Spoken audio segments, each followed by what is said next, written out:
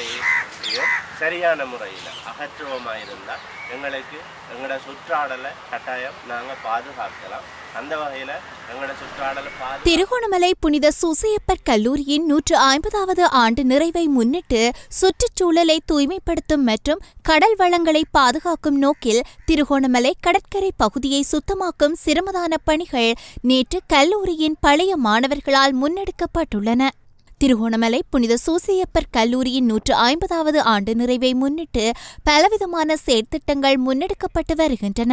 அதன் ஒரு அங்கமாக கல்வி சமூகத்தினை மட்டுமல்லாது அதன் சுற்றுச்சூழலினையும் தூய்மைப்படுத்தும் நோக்கில் திருகோணமலை கடற்கரை பகுதியை சுத்தமாக்கும் பணிகள் நேற்று கல்லூரியின் பழைய மாணவர்கள் மற்றும் நலன் விரும்பிகளால் முன்னெடுக்கப்பட்டது.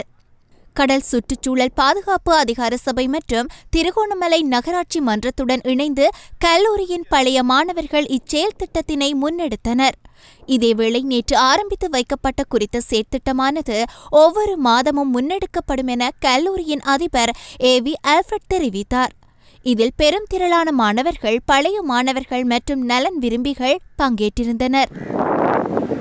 இன்றைய நாள் ஒரு சிறப்பான நாளாக இருக்கிறது. விசேடமாக இன்று புனித சூசியப்பர் கல்லூரியினுடைய பழைய மாணவர்கள் ஒன்றிணைந்து இந்த திருவண்ணாமலை பகுதியிலே கடற்கரை சுற்றுச்சூழலை துப்புரவாக வைத்திருக்கின்ற வகையிலே தங்களுடைய ஒரு சிரமதான நிகழ்வை இன்று நிகழ்த்தி கொண்டிருக்கிறார்கள். வாழுகின்ற சூழலை அன்பு செய்கின்றோம் அதை நேசிக்கின்றோம். அதே போல அனைவரும் நாங்கள் வாழுகின்ற சூழலை அன்பு செய்ய வேண்டும் நேசிக்க வேண்டும் துப்புரவாக வைத்திருக்க வேண்டும் என்கின்ற செய்தியையும் நாங்கள் கொடுக்க முன் முன் வந்து நிற்கின்றோம்.